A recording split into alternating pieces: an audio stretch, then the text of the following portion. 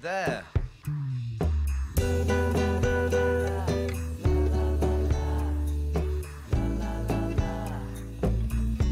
La dernière haie en vue pour Golden Shop qui a mené depuis le départ. Mazzuelo tente de revenir euh, à son extérieur. Utopie des bords est beaucoup plus loin avec Gaspatir. Dernière haie. Golden Shop qui l'accroche mais reste en tête et réaccélère. Mazzuelo tente de revenir côté corps nettement devant Utopie des. Là, ce Golden Shop a toujours le meilleur. Mazzuelo est décalé vers l'extérieur pour repasser à l'attaque avec Las Golden Shop. Mazzuelo qui revient avec Golden Shop qui est le meilleur, qui tente de repartir. Ce Mazzuelo qui ne progresse plus. C'est Las Golden Shop et Gaëtan Olivier sous 70 kg qui va s'imposer de bout en bout devant Mazzuelo. Troisième place pour Utopie des bords. Gaspatir est quatrième devant Lavirois et à distance Cayence.